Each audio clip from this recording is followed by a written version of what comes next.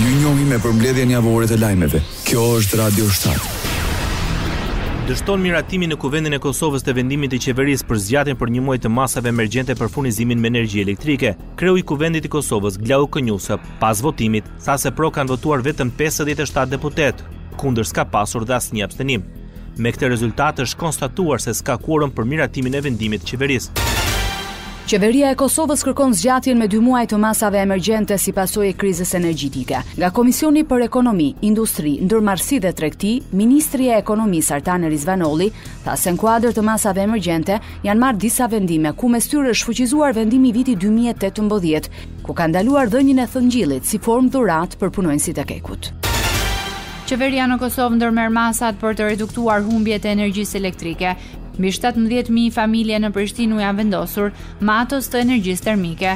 Petrit Selimi nga Korporata e Sfidave të Mijëvjeçarit vlerëson se në këtë mënyrë do të paguhet vetëm për konsum të energjisë. Me instalimet e matësve, valvulave në 17.500 banesa në Prishtinë, klientët, banorët e Prishtinës do të kenë mundësi që koston ta kontrollojnë vetë. Për kryeshefin e Termokosit, Fisnik Osmani, ky projekt është shumë i rëndësishëm pasi qytetarët e Prishtinës do të paguajnë më pak në faturat e ngrohjes. Përmes këtij programi do të mundësohet që qytetarët e Prishtinës të paguajnë më pak fatura në të ardhmen në çfarëdo faze që ne do të mbërrijmë ta implementojmë. Komisioni Europian i transferoi buxhetit të Kosovës edhe pesë pikë pesë milionë euro të tjera për të ndihmuar në zbutjen e ndikimit të pandemisë Covid-19 dhe rritjen e shpejtë të çmimeve të energjisë dhe ushqimeve. Përmes kësaj pagese të mbështetjes buxhetore, ne ndihmojmë likuiditetin financiar të Kosovës për veprimet e ndërmarra për të mbështetur bizneset e vogla, bujqësinë dhe grupet e cenueshme të përballen me vështirësitë financiare, thuhet në komunikatën e Komisionit Europian. Sociale. Hyri në javën e pestë greva e arsimtarëve në Kosovë, kryetari i Sindikatës së Arsimit Rrahman Jasharaj vazhdon të deklarojë se deri në plotësimin e kërkesës për 100 euro shtesë deri në miratimin e ligjit të pagave, greva nuk do të ndërpritet. Qeveria u ka ofruar 50 euro shtesë, por sindikata nuk i ka konsideruar të mjaftueshme. Sindikata e Bashkuar e Arsimit dhe Shkencës së Kosovës ka bërë të ditur se greva në arsim do të vazhdojë dhe janë shprehur se presin të ketë reflektim nga ana e qeverisë. Ndërsa kanë vijuar protestat e prindërve për ndërprerjen e grevës dhe rifillimin normal të mësimit. Kryeministri i Kosovës mbrojti edhe një herë qëndrimin e përballë grevës së arsimtarëve. Thirrjeve për rritje të pagave në arsim për shkak të rritjes së çmimeve, Albin Kurti deklaroi se faturat janë rritur për gjithë konsumatorët në Kosovë dhe jo vetëm për arsimtarët. Shefi i qeverisë njoftoi se do të ketë rritje të pagave për arsimtarët, ndonëse sipas tij nuk ka qenë Një nga premtimet elektorale. Partia Demokratike e Kosovës kërkon dorëheqjen e ministres së Arsimit. Nga foltorja e Kuvendit, Memli Krasniqi kujtoi ministres Nagavci se ka mbyllur në shtëpi më shumë se treqind e njëzet mijë fëmijë. Krasniqi nënvizoi se detyra e qeverisë nuk është të bëjë thirrje për ndërprerjen e grevës, por të gjejë zgjidhje. Po kryeministër, me një shtator u dashtë me nisë mësimi, jo me ia nisë diskutimi, ndërsa greven e ke pas paralajmërume prej prillit. E ke pas të fillume me 25 gusht, pse s'i takove me 25 gusht natën. Pastaj, këtu është leht, ti po e jep versionin tënë, po flet në emën të tjetërkujna, pa kon ata këtu. Ku e dim na çka menojnë ata të BSPK-s ose të SBASHK-ut ose sindikatës tjetër. Ti veç: vallë ju ka pëlqy. Nashta s'ju ka pëlqy, pse me të besu?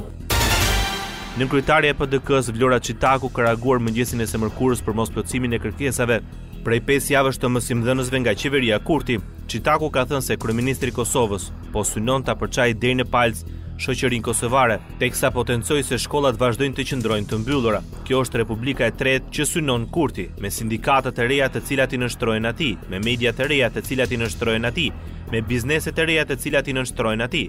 Kurti dëshiron ta bëjë Kosovën të pajetueshme, vijon në postimin e saj nënkryetarja e Partisë Demokratike të Kosovës. Nënkryetari i Kuvendit të Kosovës, Enver Hoxhaj kërkoi edhe një herë qeverisë të ndërhyjë për ndërprerjen e grevës së arsimtarëve. Përmes një konference për shtyp, Hoxhaj informoi se ligji i pagave që pritet të hyjë në fuqi nga janari i vitit të ardhshëm do të zgjidhte më së miri problemin e pagave të mësuesve.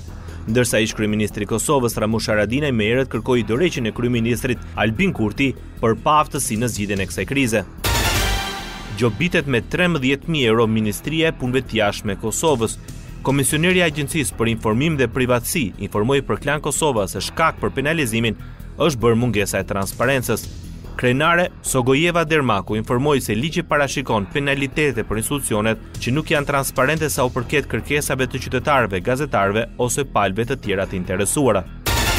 Kryetari i Lëvizjes Vetëvendosje Albin Kurti rikonfirmohet kryetar i partisë për një tjetër mandat. Në zgjedhjet e brendshme që u mbajtën të dielën, Kurti si kandidat i vetëm në garë mori nëntëdhjetë e tetë për qind të votave. Lëvizja Vetëvendosje njoftoi gjithashtu se për kryetare të organizatës Gratë për Vetëvendosje u zgjodh Albulena Haxhiu me nëntëdhjetë e katër për qind të votave, ndërsa Behar Jashari u zgjodh kryetar i Rinisë për Vetëvendosje. Përgjatë javëve në vijim, procesi do të vazhdojë me zgjedhjen e kryesive të qendrave e do të përfundojë në fund të muajit tetor me zgjedhjen e kryesisë së Lëvizjes Vetëvendosje në mbledhjen konstituive të Këshillit të Përgjithshëm. Politik.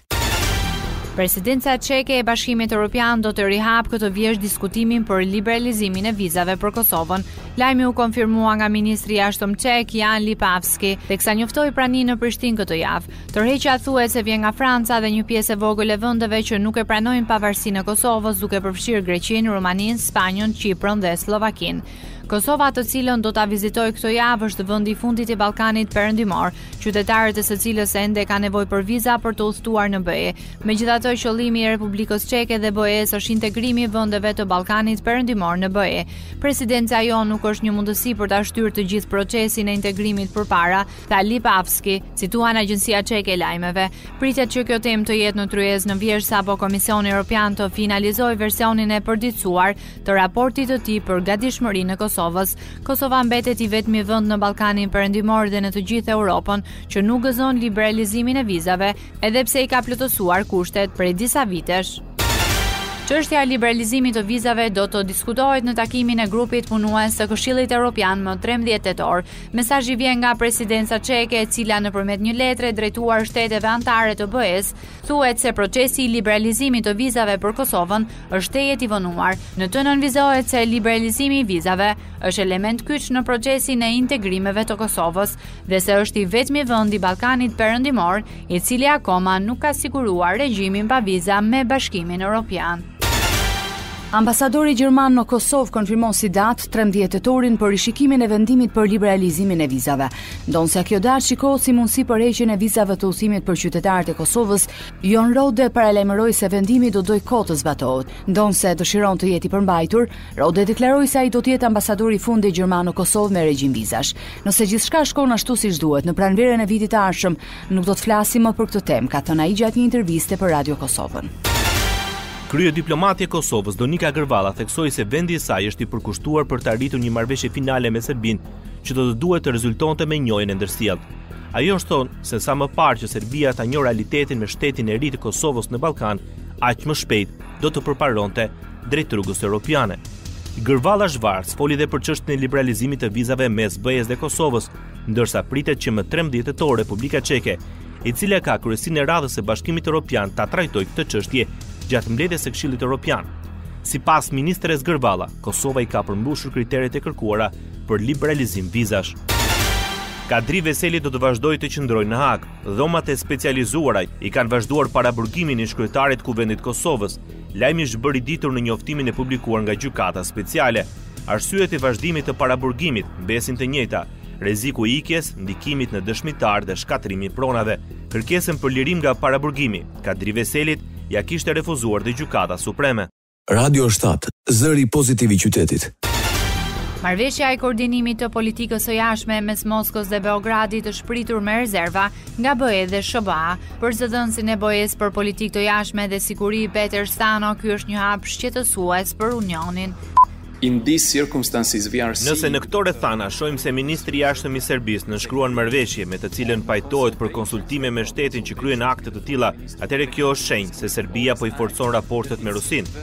Dhe kjo ngre shqetësime serioze. Raportet me Rusinë, në këtë, nuk mund të jenë sikur asgjë të mos kishte ndodhur. Këto ne i marrim seriozisht. Nga Brukseli ai kërkoi që Serbia të përafrojë politikën e jashtme me Unionin, të cilën ajo ka kërkuar të bëhet pjesë. The European Union was very clear with Bashkimi Europian ka qenë krejtësisht i qartë me të gjitha vendet anëtare dhe partnerët përfshirë dhe vendin kandidat, Serbinë. Raportet me Rusinë nuk mund të jenë punë e zakonshme. Tha Peter Stano. Ndërsa ambasadori amerikan në Beograd, Christopher Hill tha se pret shpjegime nga Serbia se çfarë ka në përmbajtje të dokumentit të bashkëpunimit që nënshkroi me Rusinë gjatë punimeve të Asamblesë së Përgjithshme të Kombeve të Bashkuara. Kryeministrja e Serbisë, Ana Brnabic, ka thënë se vendi i saj aktualisht po përballet me një nga presionet më të mëdha dhe më të vështira që nga viti një mijë e nëntëqind e nëntëdhjetë e nëntë. Reagim pritet veçanërisht pas prezantimit të presidentit serb Aleksandar Vuçiç në Asamblenë e Përgjithshme të Kombeve të Bashkuara. Gjatë një interviste për TV Pink, ajo vlerësoi se reagimet ndaj planit të nënshkruar konsultativ të Ministrisë së Punëve të Jashtme të Serbisë dhe Rusisë janë vetëm një justifikim për sulmet ndaj Serbisë dhe theksoi se plani nuk ka fuqi ligjore, sepse sipas saj nuk është miratuar nga Qeveria e Serbisë. Ambasadori i SHBA-së në Serbi, Christopher Hill ka reaguar se e ka parë planin konsultativ të nënshkruar nga ministri i Jashtëm i Serbisë, Nikola Selakovic dhe i Rusisë, Sergei Lavrov. Ai ka thënë se në atë dokument nuk ka asgjë të veçantë, por që Rusia e ka dashur për ta justifikuar luftën e saj në Ukrainë. E pashë planin, nuk ka diçka në të. Askush nuk i mbështet ata në këtë përpjekje, ka thënë Hill për Fonet. Parlamenti Europian pritet të kërkojë që vazhdimi i bisedimeve të anëtarësimit mes Serbisë e BE-së të kushtëzohet me vendosjen e sanksioneve nga Beogradi ndaj Rusisë. Kjo kërkesë është pjesë e një draft raporti për strategjinë e zgjerimit të BE-së së përgatitur nga Tonino Picula, deputet socialdemokrat në Kroaci, i cili është raportues i BE-së për këtë strategji. Në propozim po ashtu thuhet se duhet të bëhet prioritet përshtatja e vendeve nga procesi i zgjerimit me politiken e përbashkët të jashtme dhe të sigurisë së BE-së e të vazhdohen negociatat e anëtarësimit me Serbinë, vetëm nëse ky vend i bashkohet sanksioneve të BE-së ndaj Rusisë. Serbia ka votuar disa rezoluta të Kombeve të Bashkuara që dënojnë pushtimin rus të Ukrainës, por deri tani nuk u është bashkuar sanksioneve të bllokut europian ndaj Moskës. Presidentja e Kosovës kritikoi edhe një herë kryeministrin e Shqipërisë Edi Rama për marrëdhënien me Serbinë. Në një intervistë për Zërin e Amerikës, Vjosa Osmani Tha se mosmarrëveshjet janë të natyrës zyrtare. Mosmarrëveshjet janë të natyrës zyrtare për temat të cilat edhe i përmenda. Natyrisht që raportet ndërpersonale mes politikanëve janë komplet të parëndësishme, por çka është e rëndësishme është raportet ndërmjet shteteve. Sipas kreut të shtetit në Kosovë zyrtarët shqiptarë nuk duhet të shndërrohen në mbrojtës të politikave pro-ruse të Beogradit.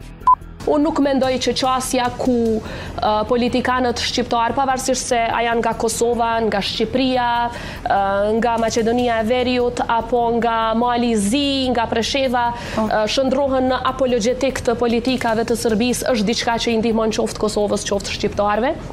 Nuk mendoj që është e drejtë që të arsyetohet qasja dhe veprimet pro-ruse të Sërbisë. Osmani vlerësoi ndër të tjera, Rolin e Presidentit të Shqipërisë në promovimin e çështjes së Kosovës në arenën ndërkombëtare. Kryeministri në detyrë i Malit të Zi, Dritan Abazoviç vlerëson se ka marrëdhënie të mira me presidentin e Serbisë.